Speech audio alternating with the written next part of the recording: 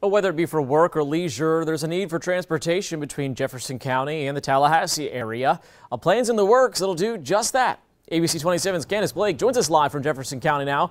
Candace, where will the additional transportation come from? With funding from the Florida Department of Transportation, Jefferson County has been approved for a three year bus shuttle service. The shuttle will run to and from Tallahassee. After noticing a need to reach Leon County for job opportunities and in some cases shopping, the Big Bend Transit of Jefferson County went to work. County commissioners and Big Bend Transit have come up with an agreement for a new bus system.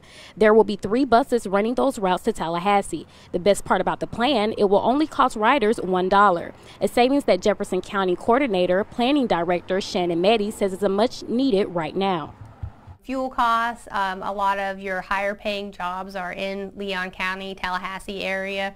I mean, we, we have jobs available here in Jefferson, but your a little bit higher paying jobs are definitely more in Tallahassee, and uh, some of your other, uh, you know, different retailers and are out that way as well.